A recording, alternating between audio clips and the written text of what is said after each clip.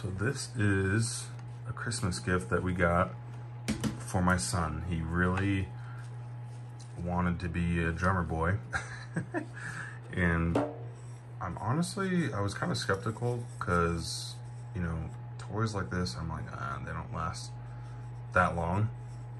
But, I mean, it's been, I don't know, five and a half months already. And he's beaten this thing like crazy. You can kind of see from the sticks, right? Like how much he uses it. And it's still um, really good. So it's got the blue and white um, and then the red strap. I'm sure there's probably some other colors come with it as well, but the straps are nice because you can put it around his head, or his neck rather, and he can walk around and drum. Um, the kid loves it.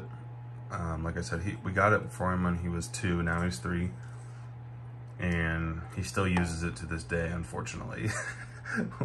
the reason why I say unfortunately is because I work from home, obviously with the computer here, but um, like it's, it's not super, super loud, but you can definitely hear it. And I would play it for you, but he's sleeping in the next room.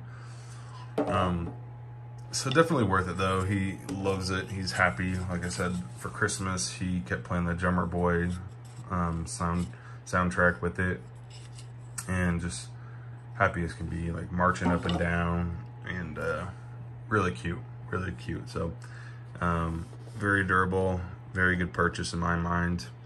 Whatever makes him happy and have some memories, uh, especially during the holidays and as long as it lasts a good while, um, I was fine with it. So um, if your son, daughter, grandchild, whatever is looking to play some drums and want to get out some energy, this might be something that you might want to pick up.